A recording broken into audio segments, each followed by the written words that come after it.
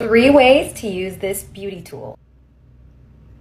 To apply your face creams and pat it in. To apply foundation, this texturized side gives you a more full coverage and this smooth side, a lightweight coverage. I'm gonna do a more full coverage. And this is actually incredible. I love applying my foundation with this. I mean, look at this foundation application. The third to blend liquid blush. I'm using this side. Guys, check this out.